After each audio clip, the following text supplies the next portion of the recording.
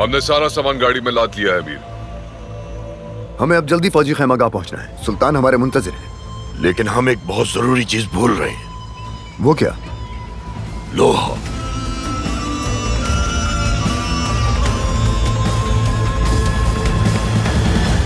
तुम लोग हमारे मातहत हुआ करते थे।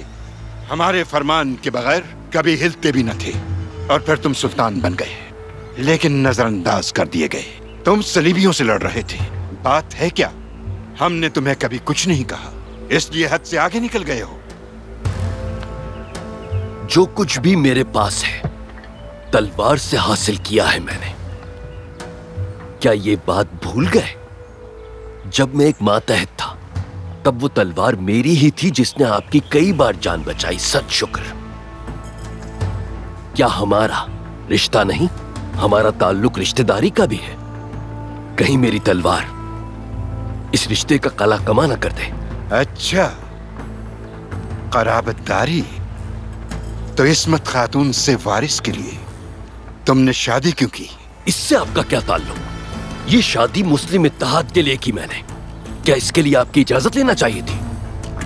बात को मत बढ़ाओ दौलत। आप आप खामोश रहिए। परेशान मत होइए। ये मसला मेरे और नूरुद्दीन के दरमियान है। मेरा मकसद एक ही है और वो है अमनो इत्तेहाद। आपके पास बर्तरी है, बहुत ताकत है। तो इसे अमन और इत्तेहाद के लिए इस्तेमाल क्यों नहीं करते? और अगर आपका मकसद बदअमनी है तो फिर बर्तरी का दावा मत करें। दारू सल्तनत छीन गया तुमसे। तुम्हारे भाई ने साजिश की सलीबियों के साथ और बगावत की तुमसे। उसने सुल्तानी का ऐलान भी कर दिया। वो ताकतवर है तुमसे। मैं यहाँ अपनी आपा की खातिर तुम्हारी मदद के लिए आया हूँ, लेकिन हमारी एक शर्त भी होगी। तुम्हें हमारे बड़े भाई सुल्तान किलिक अरसलान को सुल्तान मौसम मानना होगा। तुम हमारे ताबे होगे तो सब कुछ पहले जैसा हो जाएगा, और तुम्हें किए की सजा न देंगे, माफ़ी मिल जाएगी।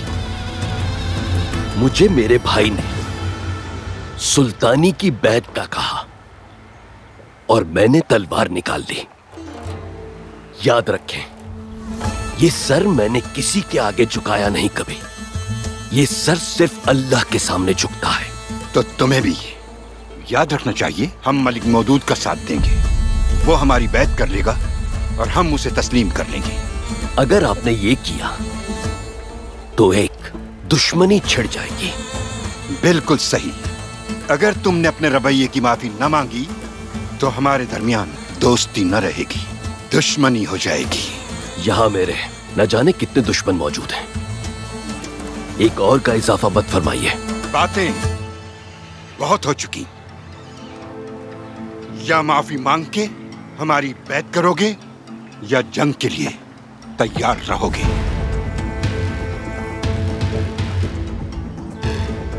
सलजो की शिकरा यहाँ अपने पर फैला चुका है। तुम्हें अगर हमारी शर्त मंजूर नहीं तो शिकरे के पंजे तुम्हारी गर्दन नोच डालेंगे।